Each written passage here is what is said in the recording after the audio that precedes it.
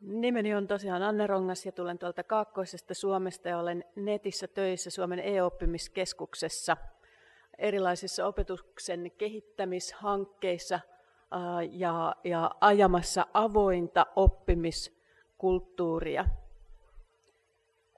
Ja, ja nyt mun esitys asettuu sellaiseen kontekstiin äh, kuin oppiminen, koulut, informaatioteknologia, digisisällöt. Ja ensimmäinen sana, mikä ehkä teillekin monelle tulee mieleen, on hitaus. Tämä kiinnittyy siihen, mitä Jyrki Kasvi puhui tänään aamupäivällä. Monet asiat tuntuvat tapahtuvan hyvin, hyvin hitaasti. Itse kaivelin tuossa viime viikolla omasta blogistani menneitä tekstejä ja tuntui, että kolme vuotta vanha teksti voisi olla kirjoitettu eilen. Ne, joilla on pidempi kokemus, voivat kertoa, että kymmenen vuotta sitten edistetyt asiat ovat vieläkin vaiheessa. Ja milloin, milloin sitten se ää, lamppu oikein syttyy asioihin? Miksi asiat etenevät ää, sulautuvan teknologian kanssa niin hitaasti? Minkä takia niin hitaasti opitaan käyttämään pedagogisesti mielekkäällä tavalla erilaista digitaalista sisältöä ja sen tuottamista ja näitä tuottamisen käytänteitä, yhteisöllistä työtapaa. No toisaalta asiat tapahtuvat valtavan nopeasti. Koulupuolella opettajien kanssa työskennellessä tulee hyvin usein vastaan se, että koko tämä maailma ja elämä ja työelämä on hirveän hektistä. Aina on kiire. On jopa niin kiire, että ei ehdi ajatella kunnolla. Ja, ja ihmisiä ahdistaa se, että kaikkia uutta tulee jatkuvalla syötöllä. Sosiaalinen media, jonka oppimiskäyttöön en erikoistunut itse ja olen, olen ollut opettamassa opettajia ja myöskin opiskelijoita hyödyntävään oppimisen näkökulmasta sosiaalista mediaa. Se on kuin viidakko. Ja, ja siellä tulee vastaan monelle tuo nopea syklisyys ja virtaus.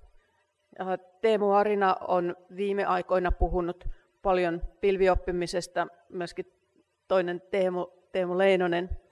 Ja, ja äh, minusta oli tuossa Teemu Arinan Suomen Kuvalehden haastattelussa, joka, joka oli tässä viimeisessä numerossa, niin mukava vinkki siihen, että ei tuossa virrassa tarvitse elää sillä lailla, että ottaa kaikesta kiinni, että yrittää seurata ihan kaikkea, vaan että, että sitten niin pystyisikin jotenkin vaan antaa sen virran virrata ja, ja sieltä esiin nousee sitten asioita. Ja myöskin satunnaisesti voi välillä ää, löytyä kultahelmiä. Serempiditeetistä on viime aikoina paljon puhuttu. Turva. Tämän, tämän sanan olin laittanut jo ennen viime viikonloppua yhdeksi keskeiseksi sanaksi, mistä tänään ää, halusin puhua. Kyse on identiteetistä, kyse on siitä, miten lasten ja nuorten kanssa ollaan teknologian kanssa. Hyvin monisyinen asia ja sellainen, mihin tarvitaan myöskin kouluttamista, sillä näiden asioiden huomioon ottamisessa ei välttämättä kotien taidot, se kotikasvatus riitä jollakin lailla turva pitää olla myöskin yhteydessä avoimuuteen teknologian kanssa. Jos turva on sitä, että oppilaitoksen palomuurien läpi ei mennä päästä millään, niin, ää, niin parhaiten oppimisresurssien hyödyntäminen on hyvin ongelmallista. Olemme myöskin jatkuvasti tekemisissä kasvun kanssa. Ja korostaisin eettisiä, moraalisia kysymyksiä. Niistä on vähän hankala puhua, kun me yritetään olla niin hajuttomia, mauttomia ja värittömiä tänä aikana. Itseäni eniten opetusteknologian kanssa tsemppaa se, että ajattelen, minkälaisia valtavia ongelmia maailmalla on ratkaistavana lasteni ja lasten lasteni elinaikana.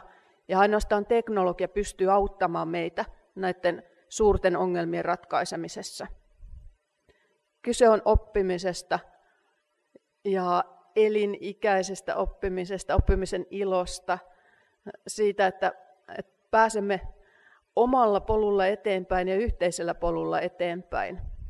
Ja siitä, että miten tätä oppimista sitten voidaan tukea ja, ja tuoda hyvää oppimiskulttuuria. Ja ehkä se, tämä aihepiiri kiinnittyy tuohon hitauteen siinä mielessä, että, että ähm, kun itse olen kovasti miettinyt sitä hitautta, millä nämä tietotekniset asiat sulautuu oppimiseen, olen päätynyt nyt tällä hetkellä siihen, että kyse onkin siitä, että me ajatellaan oppimista vähän väärinpäin. Ajatellaan sitä pelkästään yksilön koesuoritus tulostavoitteisena asiana, jota voidaan mitata siis laittamalla ihmiset kynän ja paperin kanssa suljettuun tilaan olemaan yksin. Totta kai oppiminen tapahtuu aina yksilön aivoissa, mutta silti se on myöskin kulttuurinen asia. Ja oikeastaan niin kuin se, mihin suuntaan toivoisin, että opetusteknologia, sen hyödyntäminen ja käyttö kulkisi, olisi se suunta, että me voimme yhdistää osaamistamme ja että teknologia tukee myöskin osaamisen yhdistämistä ja yhteistyötä. Ainahan se ei ole helppoa eikä aina yhdessä välttämättä päästä ää, hyviin tuloksiin. Nyt. Mä kirjoitin tähän nyt enkä tulevaisuus. Viime vuosina on paljon puhuttu tulevaisuuden koulusta, mutta lapset ovat lapsia nyt ja heidän elämänsä on tässä. Ja, ja yhtä aikaa kun me teemme tulevaisuutta, niin meidän pitää muistaa ää, kiinnittää huomio siihen, mitä me voimme tehdä nyt. Ja mun haasteeni onkin se, että me ajateltaisiin uudella tavalla resurssit. Nimittäin, lähes aina kun opettajien kanssa,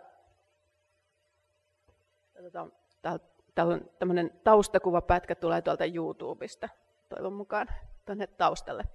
Aina kun näistä asioista, asioista puhutaan koulussa ja, ja opettajien, rehtoreiden ja hallintoviranomaisten kanssa, niin vastaan tulee se, että no kyllä joo, mutta meillä ei ole oikein resurssia. Ja sillä resurssilla viitataan aina rahaan. Että ei meillä, ole, meillä ei ole niitä laitteita eikä koneita. Öö, mä tätä vähän kalastelin tuolla verkossa, että, että voiko olla jotain muutakin resurssia kuin raha. Ähm, ja sain tällaisia vastauksia. Auli Harju, tutkija, sanoi, että aika monet ää, ne, niin tota, ai se tuli sieltä, hämmennyin hetken.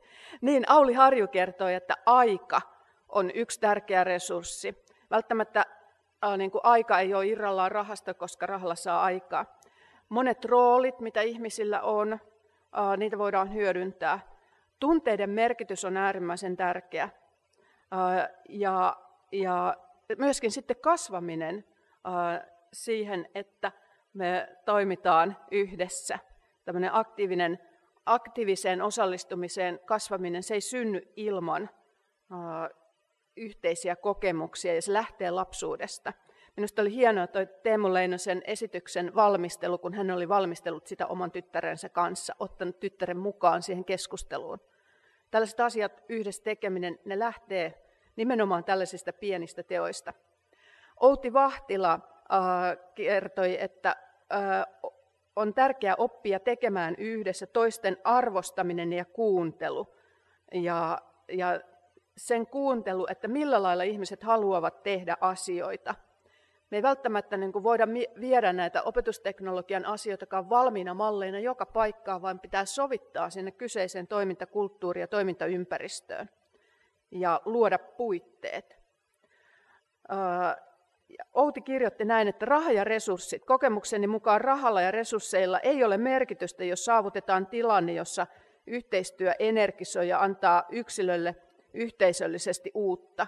Mutta tuo on osaltaan vahva organisaatiokulttuurikysymys. kulttuurin muuttaminen edellyttää määrätietoista kehittämistyötä, positiivisuuden imua. On paljon asioita, joita ei saa rahalla. Miettikäähän tätä.